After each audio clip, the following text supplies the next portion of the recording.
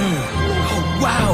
So that's what a destroyer god looks like, huh?